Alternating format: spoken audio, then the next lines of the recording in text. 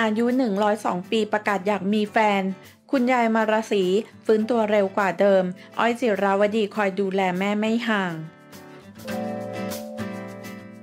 ต้องบอกว่าไม่มีใครไม่รู้จักมาราศีอิสรางกูนายุทธยา หรือที่คุ้นหูกันในนามคุณยายมาราศีเป็นนักแสดงหญิงอาวุโสและนักพากภาพยนตร์อาวุโสชาวไทย ได้รับสมญานามว่าเป็นศิลปิน 5 แผ่นดิน อยู่ในวงการบันเทิงทั้งการภาค และการแสดงมาตั้งแต่ปีพุทธศักราช 2482 จนถึงกลางปีพุทธศักราช 2555 รวมระยะเวลาในการทำงานในวงการทั้งสิ้น 73 ปี คุณยายมาราศีได้รับคัดเลือกให้เป็นศิลปินแห่งชาติ สาขาศิลปะการแสดงประจำปีพุทธศักราช 2542 คุณยายมาราศีได้รางวัลต่างๆ มากมายอาทิ ศิลปินแห่งชาติสาขาศิลปะการแสดง ภาพยนตร์และละคร นักแสดงนักพากย์ ประจำปี 2542 ก่อนที่จะหยุดพักออกจากการแสดงในช่วงกลางปี 2555 เนื่องด้วยอายุที่มากขึ้นและสุขภาพ รวมระยะเวลาในการทำงานในวงการทั้งสิ้น 73 ปี ซึ่งถือได้ว่าเป็นนักแสดงหญิงที่ทำงานอยู่ในวงการแสดงมากที่สุดคนหนึ่งของไทยเรียกว่าเกินอายุ 100 ปีก็ไม่ใช่ปัญหาสำหรับความอารมณ์ดี นักแสดงอาวุโส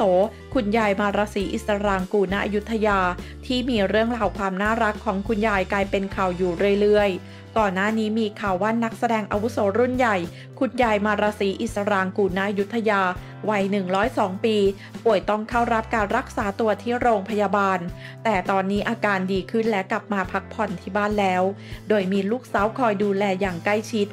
ออยจิราวดีใจชื้น คุณยายมาราศีสุขภาพฟื้นตัวเร็วกว่าปกติที่แพทย์คาดไว้ เชื่อเป็นเพราะกำลังใจจากแฟนๆ ห่วงคุณแม่จนเจ้าตัวล้มใส่ราวบันไดเลยทีเดียวสำหรับนักแสดงรุ่นใหญ่ อ้อยจิราวดี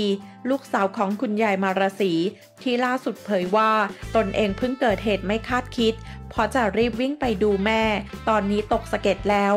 ก่อนจะอัปเดตสุขภาพคุณแม่ให้ฟังว่า หลังคุณยายมารสีรักษาตัวจนหายดีแล้ว แต่ด้วยอายุที่มากถึง 102 ปีแล้ว แพทย์คาดการว่าอาจจะต้องใช้เวลาในการฟื้นฟูร่างกายนาน 6 เดือน แต่ตอนนี้คุณยายแข็งแรงขึ้นจากเดิมมาก เชื่อคุณยายฟื้นตัวเร็วพอได้กำลังใจดีจากแฟนๆ สามารถลุกขึ้นยืนเองได้แต่ยังไม่สามารถเดินได้ปกติ โดยอ้อยจิระวดีเผยว่า ปีนี้คุณแม่จะอายุ 102 ปีแล้ว ต้องดูแลใกล้ชิด โชคดีได้คนดูแลดีคอย entertain ชวนคุณแม่เต้น ร้องเพลงอยู่เรื่อยๆ และล่าสุดอ้อยจิระวดียังได้เผยคลิป moment น่ารักน่ารัก พูดคุยกับคุณแม่ที่แอบทำให้ตกใจเบาๆ เมื่อได้ยินคุณยายบอกว่า อยากได้แฟนเอาไว้มาเลี้ยงดูเรา งานนี้ทำเอาลูกสาวถึงกับร้องลั่น คุณพัดช่วย ก่อนที่คุณยายจะเปลี่ยนใจ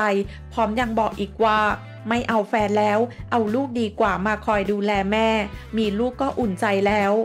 งานนี้ทำเอาแฟนๆดูแล้วก็อดใจยิ้มและเอ็นดูไม่ได้จริง ๆ